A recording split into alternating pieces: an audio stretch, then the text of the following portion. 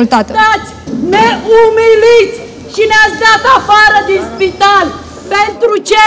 Ca să aștept să vină Iohannis și mama stă de la 11 să aștepte salvarea să o ducă acasă? Nu m-ați lăsat cu o pereche de pampers să-i aduc, să o schimbe și voi îl aplaudați pe Iohannis? Rușine poporului român! Rușine toleranței! Rușine vouă că stați în tăcere și acceptați voi această umilință! Nu faceți nimic pentru noi și generațiile viitoare. Doar sunteți martori tăcuți. Rușine poporului român! Mama mea ce a pățit? Mama mea a pățit multe, doamnă. Foarte multe lucruri.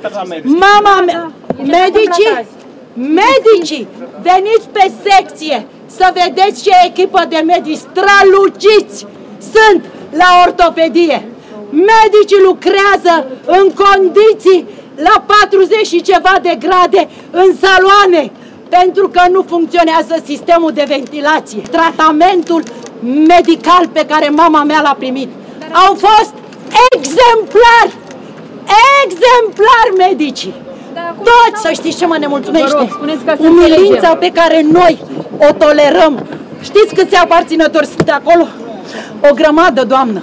Știți ce fac, doamnă? Suportă în tăcere și splâng și spun în spate, nu în față. Ce lipsuri sunt, doamnă? Spuneți-ne ca În primul rând, condițiile, doamnă. Sistemul de ventilație este nefuncțional de multă vreme. Medicii intră la 10, 15, habar n-am că poate acum greșesc, grade să facă o operație, după care aceiași medici intră în saloane la 40 și ceva de grade să consulte pe mama mea. Asistentele stau în niște condiții execrabile din punct de vedere al condițiilor de ventilație. Infirmierele de asemenea curg transpirațiile pe ele ca să-i dea mamei mele medicație și să-i schimbe pampers. Vi se pare normal? Ce să-mi lipsească, doamnă, că mie mi s-a spus așa de către toată echipa de medici. Urgent, mama dumneavoastră trebuie consultată la oncologie.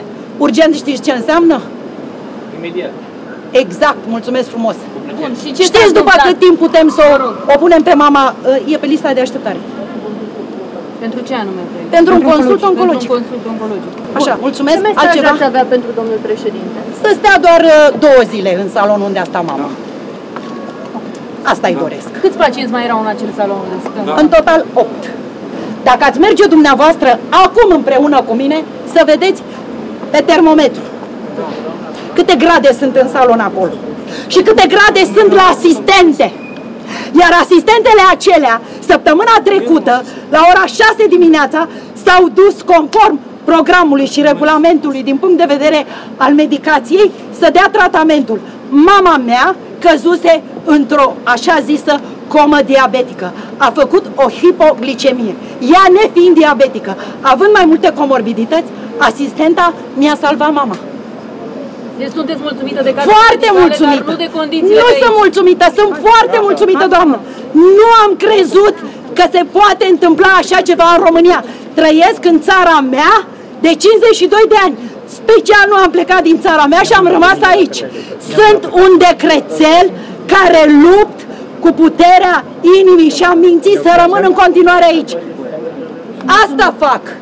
Dar dacă nu facem nimic, doar stăm tăcuți și comentăm doar în spate, noi, aparținători, noi, societate civilă, noi, fundații, noi, ce dracului o mai fi și nu facem nimic, doar comentăm în spate și între prietenii noștri și atât, nu o să ajungem nicăieri. Dumneavoastră mâine veți ajunge, la fel ca și mine, la vârsta pe care o au părinții noștri. Ghinionul nostru va fi același dacă noi nu vom face ceva acum, acum în această clipă în care trebuie să ne scuturăm și să schimbăm din temelii acest sistem ordinar. Vreau să faceți ceva și să țineți cont că acest strigăt al meu nu este un strigăt de disperare. Este mai mult decât un strigăt. Este altceva, e dincolo de cuvinte. Nu știu cum să-l numesc. Faceți ceva. Nu voi, noi toți. Bine. Vă mulțumesc tuturor.